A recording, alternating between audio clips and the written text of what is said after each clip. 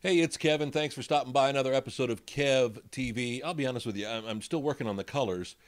Man, I hate to think I'm going to have to take, well, real video lights and, and go the whole route and, and, and well, clear out the windows and block those up. And I, I that's the perfectionist in me jumping out. I, I've worked on the coloring, though, a little bit because you can't get in the far hand, left hand side of the Kev logo the yellow that's really there on the screen.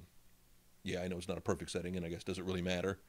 Is that what you're really here for? Is beautiful video content?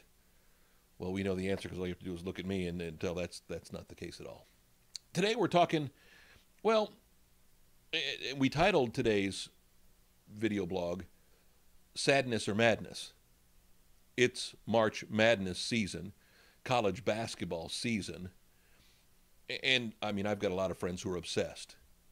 And it's funny where you figure I was a college basketball play-by-play person. I did that to kind of help put myself through college at Radford University back in the day, back before they were a, a Big South. Uh, well, now this year, I think what were they, um, 18 and 19 or 18 and 21 or something like that. Didn't have a great season. Didn't make it to the NCAA tournament. But I, I was such an avid, well, Radford fan, the university I went to. After going to Radford the next year, the next basketball season, I ended up doing a few games for Virginia Tech before before basketball really got to be the big business it is in college. Before they had a full-time network, before they were concerned with having one of the small local stations cover a basketball broadcast. They were just excited to have us cover it, so we did it. My, how times have changed here 30 years later.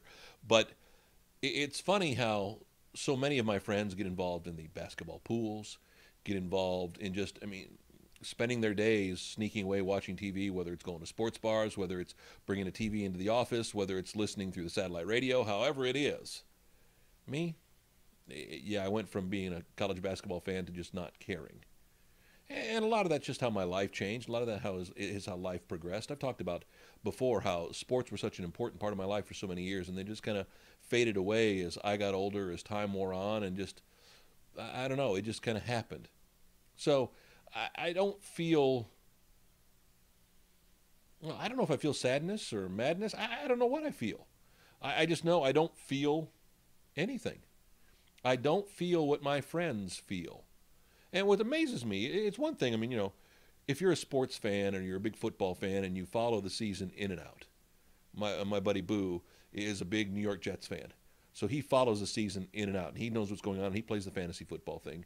In the college basketball world, though, you're a fan of your team until the tournament, and then you start paying attention to other teams. And I get there's there's the gambling aspect, and I get there's the whole office camaraderie aspect of a of an office pool. It's just tough for me being the logically based human being that I am, of well, getting involved in a competition that you know you want to win, whether it's for the money, whether it's for the pride, whether it's for the prestige, whether it's just for the ego of wanting to win your bracket, your pool in the building wherever you are. But when you don't follow the teams all year long, and I know real, it's the playoffs, so anything can happen. Cinderella's always upset. That's part of the, the beauty. That's part of the folly. That's part of the sport. I know I should care. I know I don't. I'll just go back to doing what I'm doing. These days, I'm still involved with taxes.